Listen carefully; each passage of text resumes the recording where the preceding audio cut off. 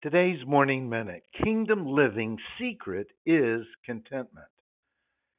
Are you learning contentment or worry? What is the secret of being content?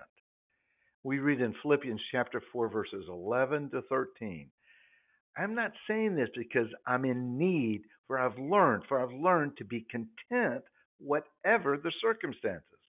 I know what it is to be in need. I know what it is to have plenty.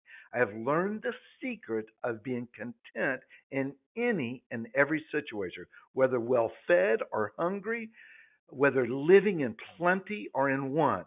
I can do, I can do all, all this through Him who gives me strength.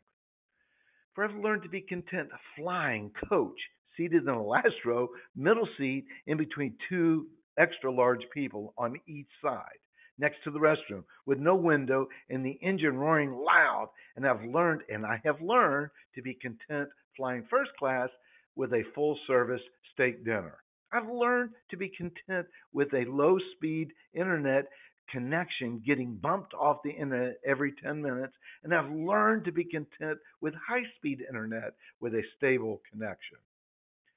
For I have learned, for I've learned for I've learned to be content with an old car, which is not always reliable, and I've learned to be content with a brand new car.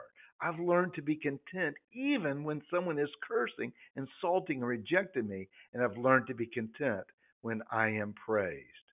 For I've learned the secret, which is to be content in Christ Jesus, with the Holy Spirit living in me and not the problem or circumstance. Contentment in Christ Jesus is the antidote to worry and anxiety. I am anxious when I'm trusting the problem or circumstance more than God.